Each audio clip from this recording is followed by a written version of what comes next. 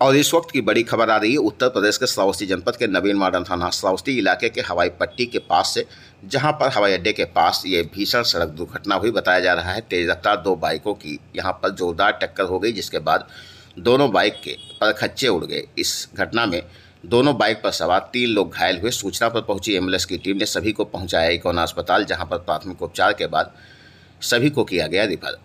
आप सभी का सबसे तेज खबर स्वास्थ्य चैनल में स्वागत है। चैनल को लाइक, शेयर एवं सब्सक्राइब करें। साथ ही घंटी का बटन दबाना न भूलें, जिससे हर खबर आपको सबसे पहले मिलती रहे।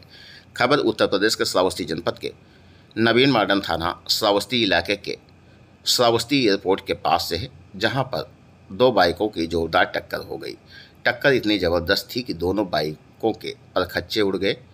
आसपास के लोगों ने इसकी सूचना एंबुलेंस कर्मियों को दी। मौके पर पहुँची एंबुलेंस की टीम ने सभी घायलों को इकौना के सामुदायिक स्वास्थ्य केंद्र पहुँचाया। जहाँ पर प्राथमिक उपचार के बाद सभी को रेफर कर दिया गया। बताया जा रहा है, खरगुपुर गोंडा निवासी अजीत तिवारी, पुत्र राजकुमार, व सूरज तिवारी, पुत्र विश्वनाथ, हरचंदपुर, खरगुपुर गोंडा। एक बाइक पर थे, जबकि दूसरे बाइक पर अनिल यादव, जो श्रीजोत नवीन मानव के निवासी।